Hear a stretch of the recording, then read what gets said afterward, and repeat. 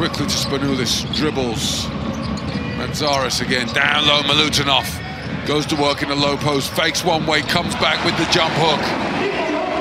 Spanoulis. Milutinov steps out off the high screen and roll. Spanoulis against Radosevic. Oh, beautiful pass. Great drive to the basket from him. No good. Rebound, Kim Tillie keeps it alive. Over Petro with the jump hook. That comes up short. And Hackett dives. Milutinov! A zone. Interesting twist.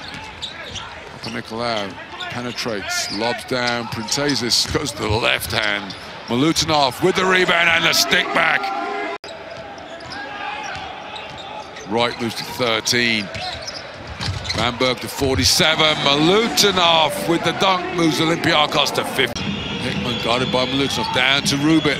Barrels through and there's Milutinov, That's the difference the serve makes.